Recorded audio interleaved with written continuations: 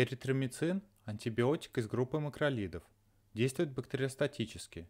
Эритромицин переносится больными лучше, чем пенициллины, и может применяться при аллергии к пенициллинам. Устойчивость микроорганизмов к препарату развивается быстро. Показания. Глазные инфекции, вызванные чувствительными микроорганизмами. Конъюнктивит, в том числе у новорожденных.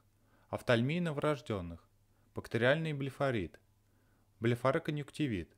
Кератит. Мибамид. Ячмень. Хламидиоз. Трахома. Способ применения и дозы. Эритромицин мазь закладывают за нижнее веко трижды в день. При лечении трахомы до пяти раз в день. Продолжительность курса терапии зависит от тяжести и формы заболевания, но не должна превышать 2 недели. Лечение трахомы эритромицином необходимо сочетать с скрытием гнойных фолликулов. При стихании процесса воспаления препарат применяют трижды в день. Курс лечения трахомы не должен превышать трех месяцев. Противопоказания. Тяжелые нарушения функции печени. Гиперчувствительность. Применение при беременности и кормлении грудью. Достаточного клинического опыта по применению ретромициновой мази во время беременности, лактации и у грудных детей не существует.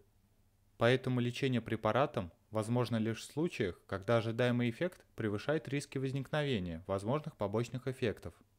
Особые указания. Эритромицин может назначаться при аллергии к пенициллинам. Препарат назначают с осторожностью при нарушении функции печени или почек.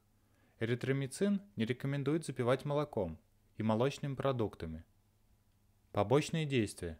Возможно развитие аллергических реакций и раздражающее действие, покраснение, зуд. При длительном применении может развиваться вторичная инфекция, вызванная к устойчивыми к метромицину микроорганизмами. Условия хранения и срок годности. Хранить в сухом месте, при комнатной температуре. Хранить в недоступном для детей месте. Срок годности 3 года.